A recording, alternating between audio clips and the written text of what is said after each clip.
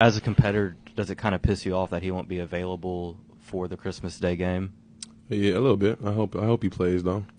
Uh, but I got Klay. I like that matchup better because he was talking a little smack before we when we lost. So I'll I'll just show him what type of defense I got. You know what I mean? But